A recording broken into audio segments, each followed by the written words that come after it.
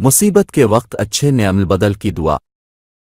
رسول پاک نے فرمایا، اگر کسی بندے کو کوئی تکلیف ملے اور وہ یہ الفاظ کہے، تو اللہ پاک اسے ضرور اس کا نعم بدل عطا فرما دیتے۔ ہیں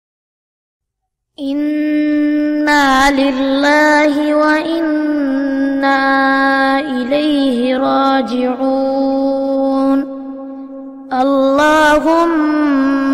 أجرني في مصيبتي وأخلف لي خيرا منها.